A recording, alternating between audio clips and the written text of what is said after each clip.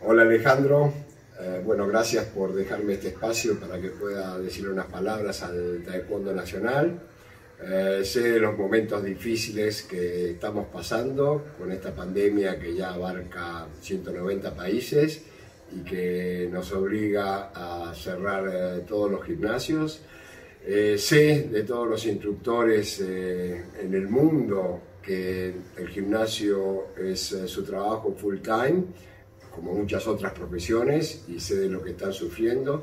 También sé del esfuerzo que están haciendo eh, para hacer un trabajo a distancia, para hacer un trabajo online, eh, para estar en contacto con los alumnos. Eh, siento una doble sensación, me da pena cuando cierro un gimnasio por cualquier motivo, pero también me da mucha alegría que los instructores entiendan y pongan su granito de arena para la prevención eh, que, todo, que todos nos están pidiendo que hagamos.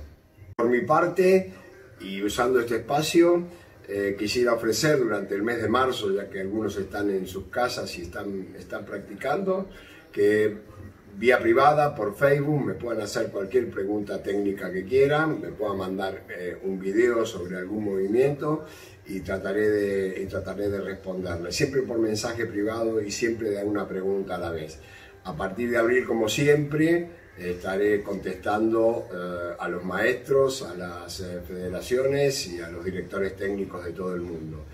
En este momento hay muchos de ustedes practicando en su casa, algunos cinturones de color, algunos cinturones negros, algunos profesores, y si de alguna manera lo puede ayudar, eh, aquí estoy para hacerlo.